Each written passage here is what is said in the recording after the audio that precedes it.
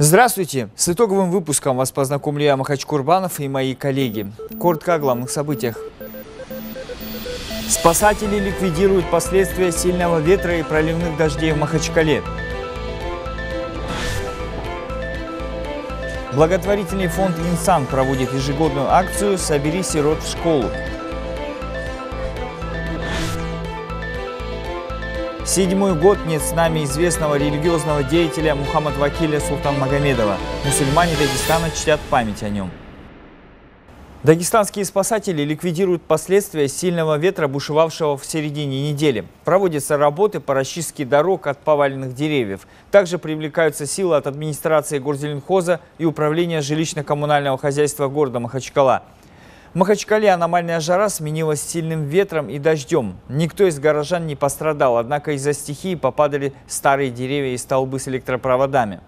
Сотрудники республиканского МЧС выезжали по разным адресам, чтобы оказать помощь людям, попавшим в непростые ситуации.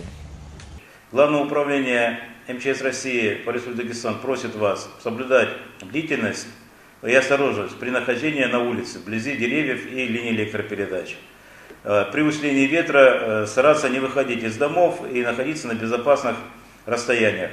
В случае возникновения нестандартных ситуаций, при необходимости оказания помощи вам, э, обращаться по телефону спасателя 67 32 42 или по телефону 101. Дискуссии и круглые столы, встречи с политиками, экспертами, общественными деятелями. В Пятигорске начал свою работу 8-й Северокавказский молодежный форум «Машук-2017». Дагестан в главном событии округа представляют 360 юношей и девушек от 18 до 30 лет. В официальной церемонии открытия принял участие премьер-министр республики Абдусамат Гамидов.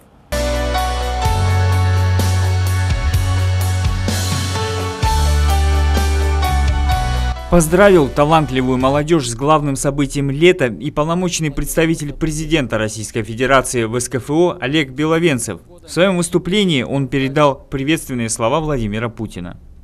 Убежден, что вы с пользой проведете эти дни, откроете новые возможности для духовного, профессионального роста, обретете друзей и единомышленников и, конечно, хорошо отдохнете.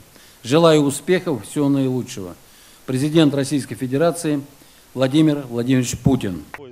Участники масштабного культурно-образовательного события будут презентовать и защищать свои проекты до 19 августа. 8 августа в работе форума обозначено как День Дагестана. В его рамках республика представит три проекта. Напомним, по итогам конкурса прошлого года грантовую поддержку более 18 миллионов рублей получил 31 проект, представленный дагестанцами. В этом году на лучшие инициативы выделено 125 грантов. В селе Гагатли Ботлихского района состоялся республиканский маджлис, посвященный 220-летию со дня рождения имама Шамиля, августовским событиям 1999 года в Дагестане, а также укреплению дружбы народов Северного Кавказа. В мероприятии приняли участие глава Ботлихского района Магомед Патхулаев, заместитель муфтия Республики Дагестан Ахмад Кахаев и ректор Дагестанского исламского университета Мухаммад Абдулаев. События конца 90-х в республике навсегда останутся в истории нашего государства как пример героизма и любви к своей родине. Тогда дагестанцы доказали, что не намерены продавать свои истинные духовные ценности и не прогнуться под вражеским натиском врага, навязывающего ложную идеологию. Эти события невозможно забыть, и даже спустя 18 лет в нашей республике отдают дань уважения тем, кто в тот год давал отпор врагам. На земле Ботлиха был приостановлен враг мужеством дагестанцев, чеченцев, ингушей, русских солдат был остановлен, остановлена вся эта братоубийственная, вот никому не нужная, кому-то очень нужная, но народу не нужная такая, такое нападение. Каждый, кто живет, наверное, на этой святой земле, на этом, в этом районе, на этой андийском земле является, внутри он является героем. В своем обращении заместитель муфтия Дагестана Ахмад Кахаев отметил, что только братские отношения между верующими нашей страны смогут уберечь в дальнейшем от того, что произошло в августе 99 -го года, что только сплоченными, связанными братскими узами, наши народы будут крепки и никому не будет под силу их разъединить. Имам Газали, рахмахуллах, в своей книге «Ихья улюмуддини» говорит о том, что в судный, когда наступит судный день, когда люди, обитатели рая, войдут в рай, тогда они увидят издалека в раю особое место. И тогда эти обитатели рая, они будут удивлены, они будут сильным желанием вот, оказаться в раю и будут спрашивать, а для, для кого же Аллах Субхану Тааля э, создал особое место в раю. Тогда имам Аль-Газали говорит, что эти обитатели рая получат ответ такой, что Всевышний Аллах в раю уготовил особое место из ума Мухаммада, саллаллаху алейхи вассаляма, лишь для тех людей, которые сохраняли братство единство. Также в мероприятии приняли участие представители делегаций из Чечни, Ингушетии, Кабардино-Балкарии и Осетии, именитые спортсмены и участники народного ополчения 99 -го года. В своих обращениях все выступающие говорили об исторически сложившихся тесных и братских взаимоотношениях народов Кавказа, наследии предков и братстве Кавказских республик. Участникам Маджлиса были вручены памятные подарки. Хотим значит, такие же подарки вручить и представителям а, муфтиата. Первый подарок, значит, Абдуллаеву Магомед Хаджи. Стоит отметить, что подобного рода мероприятия в селе Гагатли проходят впервые. Его посетили жители со всего Ботлихского района. Закончился маджлис молитвой о мире и процветании в нашей стране. Абдулла Алиев Джал Магомедов, Ибрагим Абдуллаев, телеканал ННТ, Гагатли, Ботлихский район преддверии учебного года родители активно готовят детей к школе, закупая для них весь необходимый инвентарь. Но стоит отметить, что эти ежегодные покупки бьют по карману даже среднезажиточных семей, не говоря уже о тех, кто находится у черты бедности. В связи с этим благотворительный фонд «Инсан» ежегодно проводит акцию «Собери сирот в школу», в ходе которой дети из нуждающихся семей получают все нужное для каждого школьника.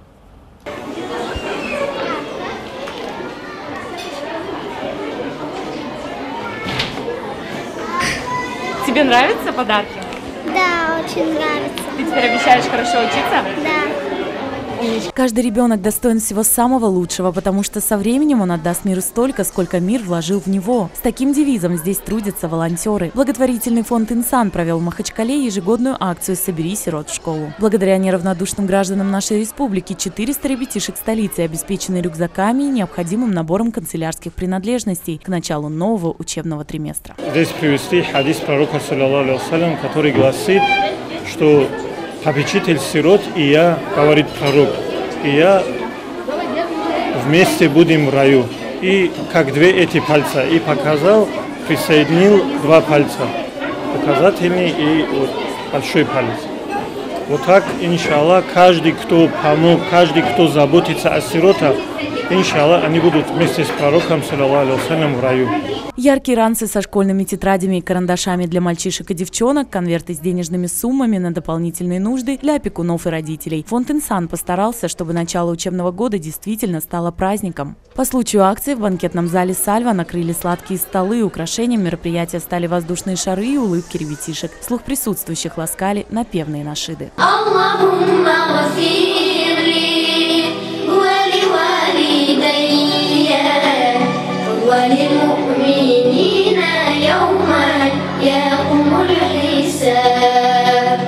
Фонд «Инсан» в лице каждого своего сотрудника безмерно благодарит всех, кто откликнулся и помог сиротам начать новый учебный год счастливых улыбок. Лариана Шамхалаева, Нурмагомед Магомедов, телеканал ННТ Махачкала.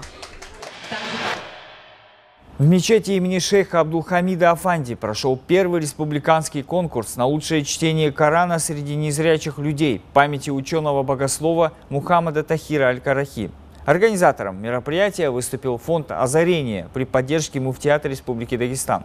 Получить максимальное количество баллов было нелегко, так как оценивали конкурсантов лучшие преподаватели. Пообщался с участниками и инициаторами состязания наш корреспондент Абдулла Алиев.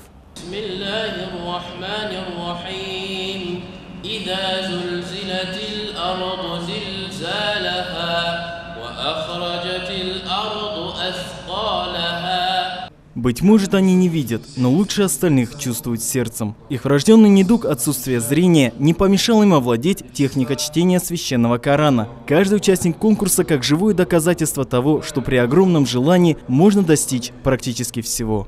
Целью конкурса является приобщить максимальное количество людей, которые мы можем э, охватить к, среди незрячих ребят э, к Корану и к исламу в целом. Всегда хотел сделать что-то подобное в республике. И более того, мы пошли в этом намного дальше. У нас сейчас уже, в принципе, очень серьезные сдвиги наметились в открытии создания центра для лиц с ограниченными возможностями по изучению Корана.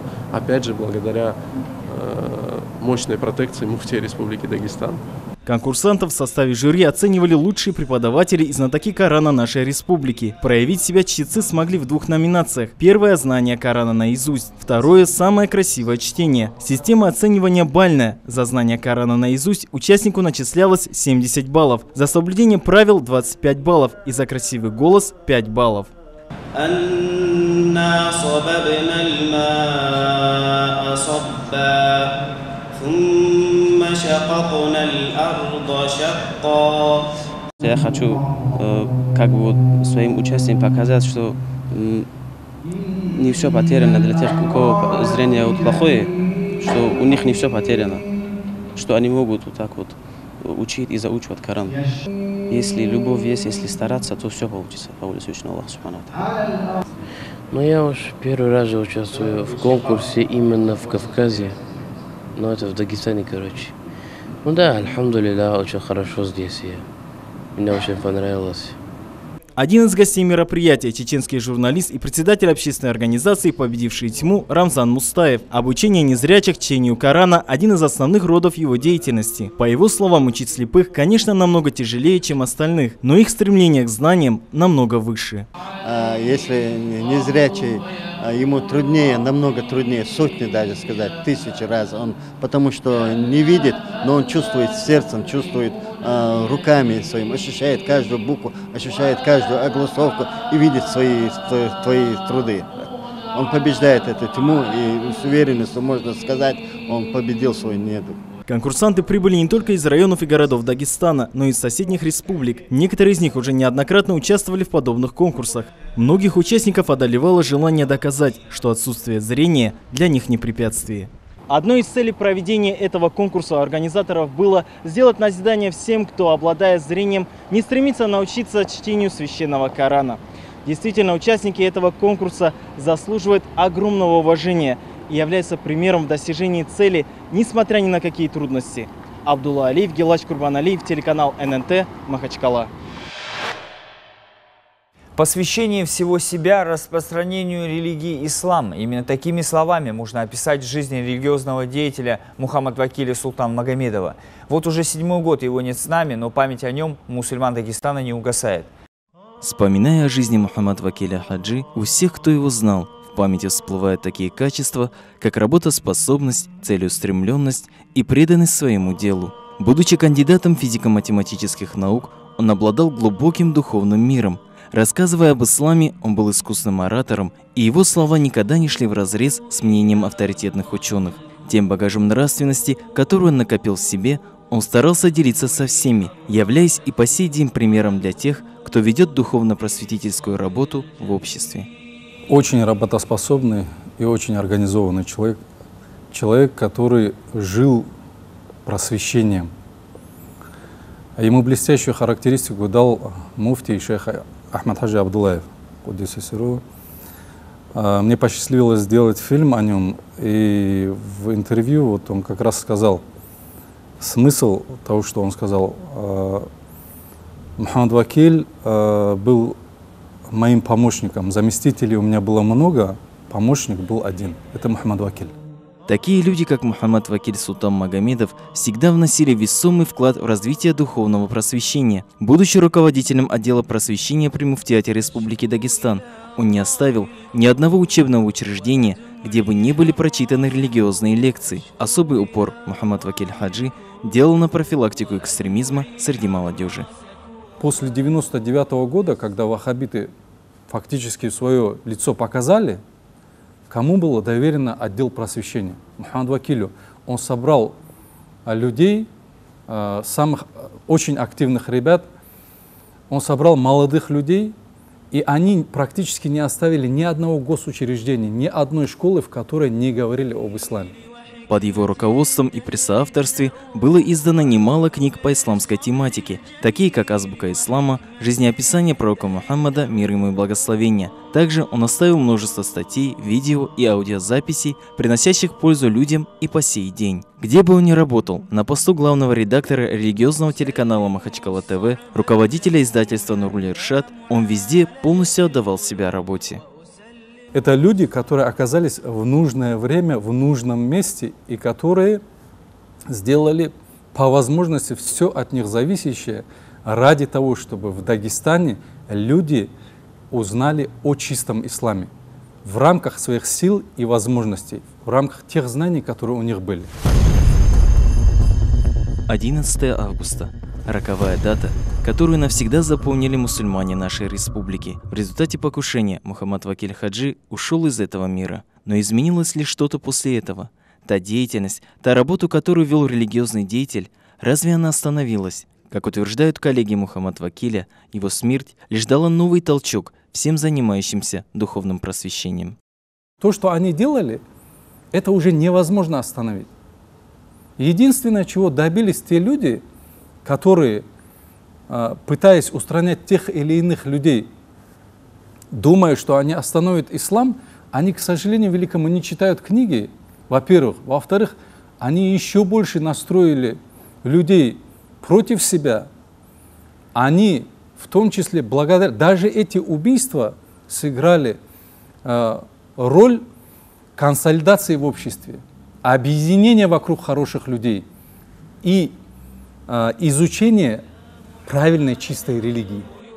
Но все же, когда из жизни уходят подобные люди, периодически чувствуется их нехватка. Многие, кто работал бок о бок с Мухаммад Вакилем, со слезами на глазах вспоминают это время. Но такова участь была у многих нашей республике, кто самоотверженно, не боясь за свою жизнь, распространял истинные знания об исламе. По-настоящему геройское ведение жизни почти всегда заканчивается геройским уходом из нее. Таким был Мухаммад Вакиль Султан Магомедов, навсегда оставшийся примером для всех духовных просветителей Дагестана. Нам их очень не хватает. Единственное, что мы можем делать, просто анализируя то, как они работали, то, что они советовали, черпать из этого и реализовывать уже в жизни. Единственное, что нам остается. А так, что мы можем сказать? Хвала Всевышнему, что Аллах нас сделал а, теми людьми, которых, э, которые их знали, которые их любили. И надеюсь, Всевышний нас объединит рядом с хорошими людьми вместе своего удовольствия, иншаллах. Абдулла Алиев, Юнус Гетихмаев, телеканал ННТ, Махачкала. Дагестан может претендовать на проведение в 2018 году чемпионата Европы по борьбе. Об этом стало известно на совещании председателя правительства Дагестана с вице-премьером Федерации спортивной борьбы России – Стороны обсудили возможную перспективу проведения чемпионата на территории республики. Встреча состоялась в правительстве Республики Дагестан. Вице-президент Федерации спортивной борьбы констатировал, что Дагестан имеет все шансы для проведения престижных состязаний европейского уровня. Также Георгием Брюсовым было отмечено, что за последние несколько лет возможности спортивной инфраструктуры республики серьезно выросли. Дагестан – это одна из самых спортивных республик Российской Федерации.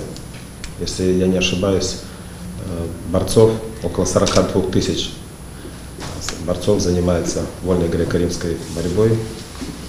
Это самый высокий показатель э, по всей стране. Очень часто здесь приезжают команды со всего мира, от Японии до Соединенных Штатов Америки, от ЮАР до Бразилии. И говорят так, борцовском мире, что если ты не победил на турнире Али Алиева, то тебе рано еще претендовать на чемпионат мира или олимпийские высоты. Председатель правительства, в свою очередь, заверил, что если право проведения престижных состязаний выпадет на Дагестан, руководство создаст максимально комфортные условия для чемпионата. И сегодняшний ваш приезд как представителя Международной Федерации борьбы, чтобы проинспектировать республику, посмотреть есть ли сегодня условия для проведения чемпионата Европы в 2018 году. Поэтому мы надеемся на ваше объективное мнение, на вашу поддержку. Если на данном этапе что-то у нас не готово, не доработано, мы готовы за это время исправить. В ближайшее время инспекционный отчет будет направлен в Международную федерацию борьбы, после чего станет известно о месте проведения грандиозного события в мире спорта. Лариана Шамхалаева, Дауд Гасанов, телеканал ННТ Махачкала. На этом у нас все. Оставайтесь на нашем канале, смотрите наши новости на сайте nntv.ru. Я с вами прощаюсь. Всего хорошего.